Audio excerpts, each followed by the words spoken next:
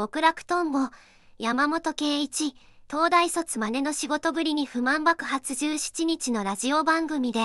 山本圭一が東京卒マネージャーへの不満を明かした短編映画の撮影時、マネージャーは山本の台本をポシェットに入れていたそう山本が台本を出すよう伝えると、雪でドロドロの台本を手渡してきたとのこと。